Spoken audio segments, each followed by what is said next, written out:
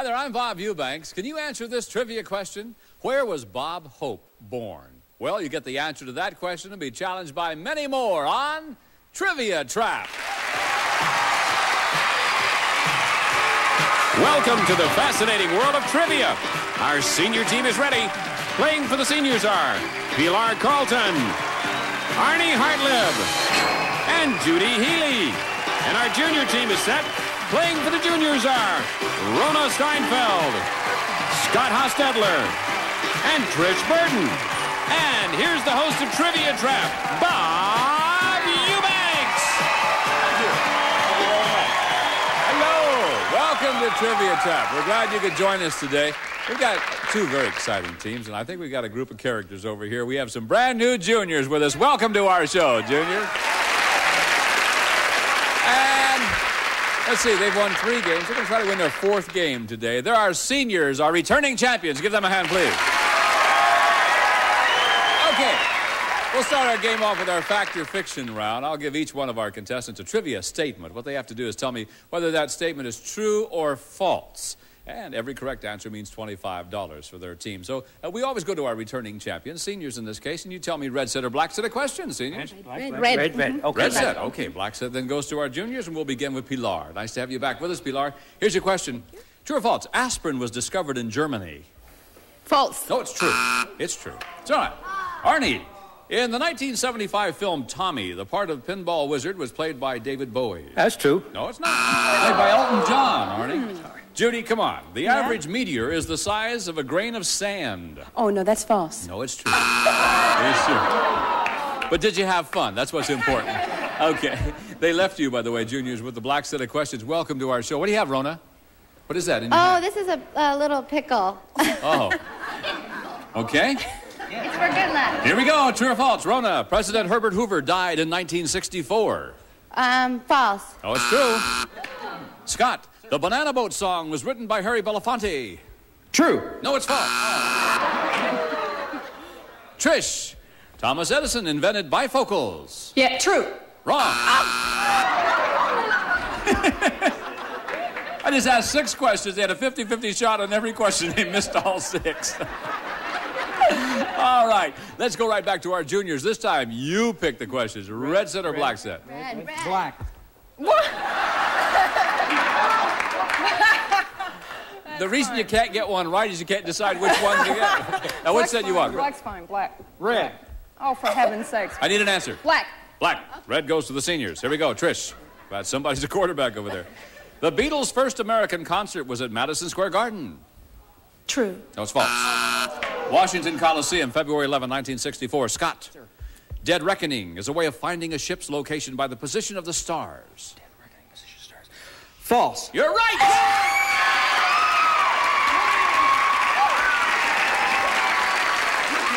Dead Reckoning is finding a ship's location without using the stars. Oh. Rhona. Yes. Tennessee Williams was born in Mississippi. True. Yes, he did it again. okay, let's go to the seniors. The red set of questions. Judi. Bob Hope was born in London, England. That's false. No, it's true. Oh, you're kidding. He was born in London, England. No. Arnie. The music to Twinkle, Twinkle, Little Star was actually written by Mozart. That's true, Bob. Yes, it is true.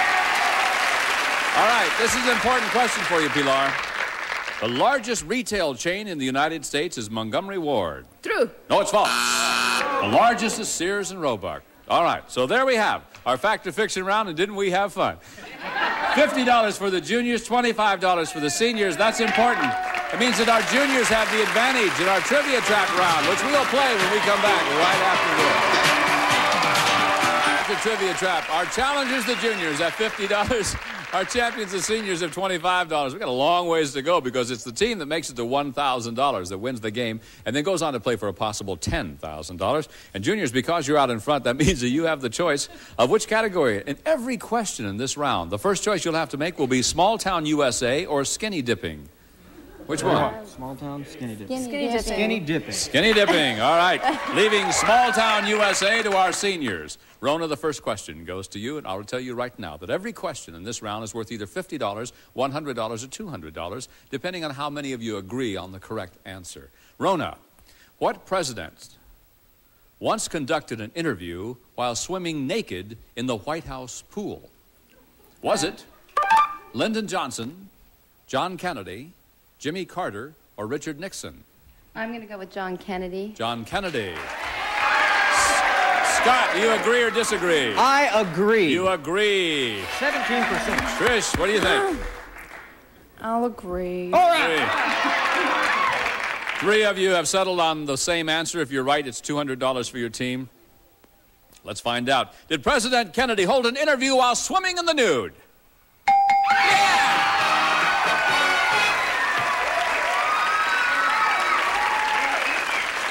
I, I think what makes it interesting is that he demanded all the reporters also strip down. Thank you, Mr. President. Okay, $250. Seniors, tough team over there. You're going to have to do some catching up. Here we go. Pilar, they left you with the category Small Town USA. In January 1984, 5,000 of the 16,000 residents of Farmington, Connecticut gave up what for one month? Was it cigarettes, sex, meat, or television? What do you think, Pilar? I'll say it'll be cigarettes. Cigarettes. Arnie, agree or disagree? I think it is cigarettes, Bob. That's right. You agree with Cigarettes, I that? agree. Judi, agree or disagree? I agree with that, yes. All three of you say that cigarettes. $200 for your team if those residents gave up cigarettes. No. They gave up television. I hate to tell you that, folks. Don't try it in your town, please. This fat kid's got to eat. No. The campaign, which was sponsored by the Board of Education and the library, was designed to promote reading and other family activities, so 5,000 of the 16,000 members of that community actually gave up television. A lousy experiment. I just want you to know. Okay, let's go again. Juniors, tell me, which category? Chocolate mousse or MTV? Chocolate mousse. Chocolate mousse or MTV? Chocolate mousse. Chocolate mousse, leaving MTV then to our seniors. Question goes to you, Scott. Here it is. Chocolate mousse is a favorite dessert all over the world. What does the word mousse mean in French? Is it cream, soft wind, foam, or kiss? I'm going to go with cream. Cream. All right, Trish, do you agree or disagree? Oh, I didn't You hear- agree or disagree? I agree. You agree with that. Rhona, I'm um, going to disagree. you disagree. Two of you say the answer is cream. If you write another $100, you'll take a commanding lead in this game. Let's find out. Does the word mousse mean cream in French? No, it does not. Rhona, you disagreed. That means you have to come up with the correct answer for $50. What do you think it is? I'm going to go with foam. Foam. You and the audience both agree. $50 for the juniors. How about it? Does mousse mean foam?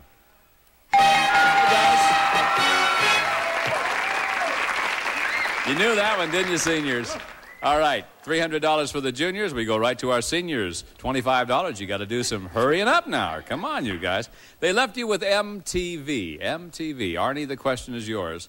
The music channel MTV recently launched a network for a more adult audience. What is it called? Is it MTV2, Easy Videos, Light Metal, or VH1? Uh, I'm going with MTV2, Bob. MTV2. Judi, do you agree or disagree?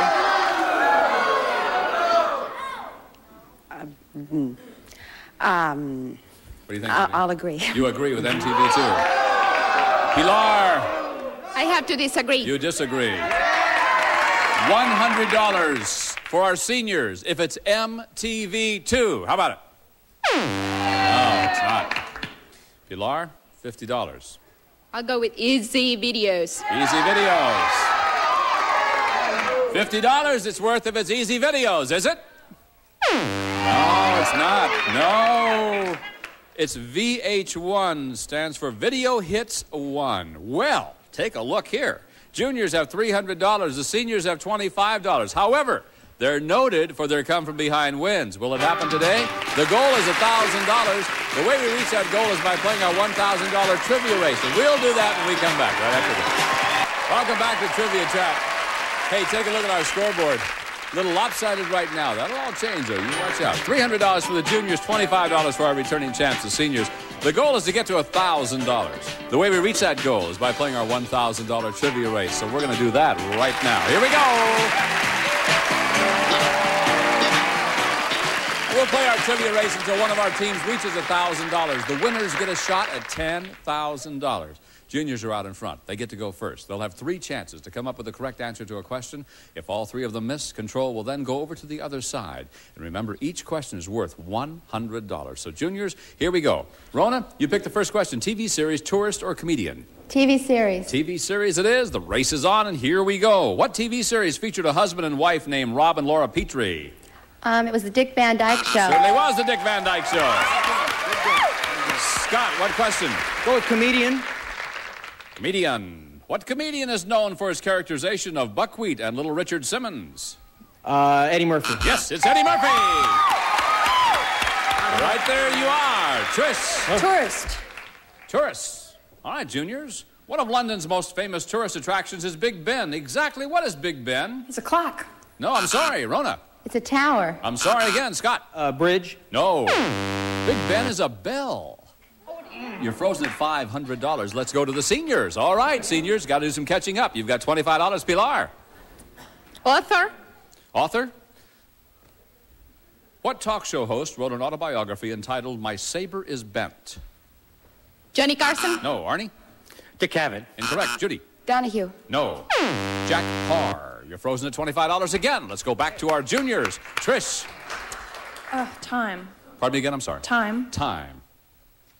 Juniors, who was Time Magazine's Man of the Year for 1984? Rhona. Um, Reagan. Scott. Ronald Reagan. Incorrect. Peter Ueberroth. You're frozen at $500. Back to the seniors again, Pilar. Famous book? Pilar, what famous book of facts was created by the McWhirter brothers? World Almanac? No, Arnie. Uh, 20,000 questions. Judi. McGuffey's reader. It's a Guinness Book of World Records. You're frozen at $25 back to the juniors. Trish. Brother. Trish, in the Popeye cartoons, what was Olive Oyl's brother's name? Rhona. Hair oil. No, Scott. Castor oil. It's castor oil, yes. Saved your team. Trish, Um, comics. in the popular comic strip, who is the daughter of Hagar the Horrible? Rhona. Hilda. No, Scott. Uh, Sandra. Oh, incorrect. Honey. You're frozen. Honey, H O N I. You're frozen at $600. Again, come on, seniors. Pilar. Nominees? Pilar, for what film were Clark Gable, Charles Laughton, and Franchot Tone all nominated for Best Actor? The Night of... Arnie. Mutiny on the Bounty. That's it. 1935. Mutiny on the Bounty. All right. Judi. Judi. oh, I'm sorry, columnist. Seniors, what does columnist Erma Bombeck call the second oldest profession? Pilar. Mom? Is that enough? Motherhood is right, sure. Okay, that was the 10th question. Hereafter, values double. Every question is worth $200. Juniors have $600. Seniors have $225. Arnie? Uh, let's take a warm up. Where did the last major battle of the Revolutionary War take place? Concord. No. Judi? Yorktown. Yorktown's the right answer, yes. 425. Here come the seniors. Pilar. Symbol? Pilar, from what country does the symbol of the Red Cross come? U.S. Arnie? Switzerland. Yes, it's Switzerland. That's right. And now the seniors have taken the lead. Judi. Pardon me? Um, I, I gulped. Uh, Hurry, please. biography. Biography it is. Seniors, whose is the subject of William Manchester's biography, The Last Lion? Pilar? Kirby Manchester? No, Arnie. Edward Kennedy. I'm sorry. Winston Churchill. You're frozen at 625. Back to the juniors we go with $600 and Trish. Casting. Juniors, who plays the sorceress Selena in the new movie Supergirl? Rhona. Linda Lee. I'm sorry, Scott. Faye Dunaway. That's right, Faye Dunaway. All right, did it again. Saved your team, Trish. Horror picks. Horror picks. This is it, gang. Get this one right. You win the game and chance to play for $10,000. What popular television actor starred in the title role in the 1957 film I Was a Teenage Werewolf? Michael Landon. Yes, it's Michael Landon!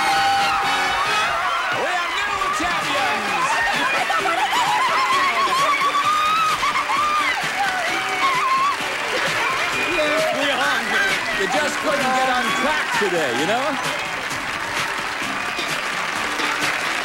Yeah. Well, $625.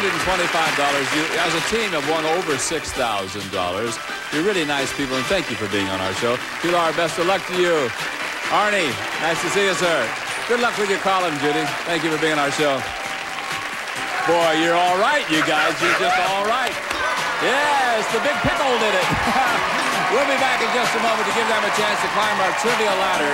At the top of the ladder is $10,000. See you in a minute. Welcome back to Trivia Trap. We have new champions. I want you to say hi to them. Here they are, the juniors. Bring them in. Tough, and I mean you're tough. You started off real good, took a big lead early, lost your lead one time, and here you are, the champions. And now, I want you to win $10,000. So if you would please go over there and get in position. Juniors, up until now, you've played as partners. You're on your own now, and your positions over there have been determined by how well each of you did in our trivia race. Scott, you're in the number one slot. That means you have the first option to play or pass on the first group of answers. You know, at the top of our ladder is a pot of gold of $10,000, and I would love to see you win it. So if you're ready, let's begin our climb right now up our trivia ladder. Scott, take a look at these answers and tell me if you want to play or pass. Little, darling, berry, wonder. What do you think, Scott? Play I'm going to have to pass those. Pass those to Rhona. Rhona, you have the same situation. You can play or you can pass them on to Trish. Sorry, Trish. Here they come, Trish. Trish, the question's worth $1,000 to you. If you get it right, you win that 1000 Also, you have a chance to play for the big pot of gold. In Walt Disney's animated feature, Peter Pan takes Wendy, John, and Michael on a journey to Never Never Land. What's the last name of the children? Wonder. Wonder. Let's find out. Oh. Thousand dollars if the correct answer is wonder. No, it's darling. Trish, we'll say goodbye to you for today. We'll see you next time, okay? you both knew that answer, didn't you? I knew you did. All right, let's go again. Next level of the ladder. Again, Scott, you'll have to tell me whether you want to play or pass. Here they come. Yes, dear. The Greek minister of culture, professor of drama at Harvard, living in a convent, or race car driver. I hate passing, but I'm going to have to. They go to Rhona. Thanks. Rhona and the pickle. All right, Rhona. If you are ready, here's your question. Yeah. Whatever happened to the brilliant star of Never on Sunday, Melina Mercouri, Um, she's living in a convent. living in a convent? Sounds good. I don't know. Let's find out. For $1,000, is she living in a convent? No. She's the Greek minister of culture. Interesting, huh? All right. We'll see you tomorrow, too. Scott? So far, you've passed on two. Let's go to the next level of our ladder, and you have to play with these. Here we go. Okay. Salzburg, Austria, Paris, France, Geneva, Switzerland, Warsaw, Poland. Here's the question In what city was Mozart born? What city? Uh, Salzburg, Austria. Salzburg, Austria, you Okay. say. Thousand dollars if you're right, but more important, a chance to play for ten if he was born in Salzburg, Austria. Yes.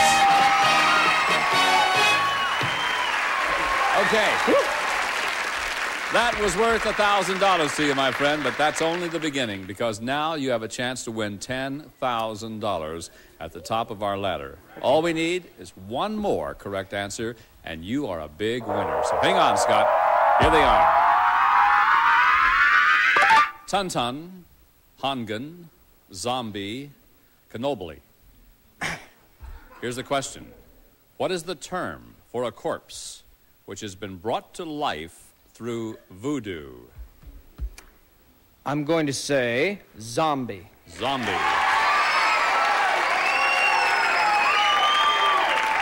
Good luck to you now. I hope so. $10,000 for Scott if the correct answer is zombie. Come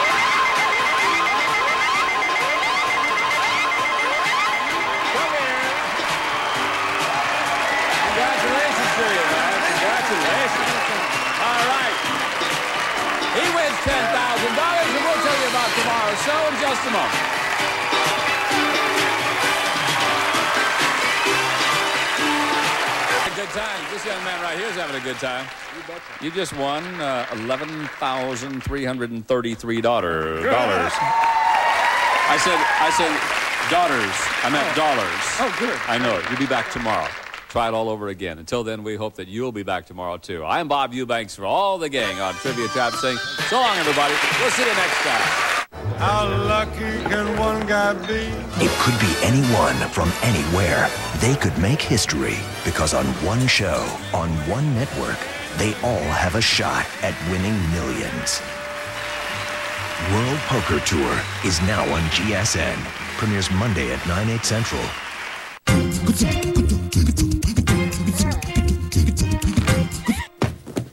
Serious fun.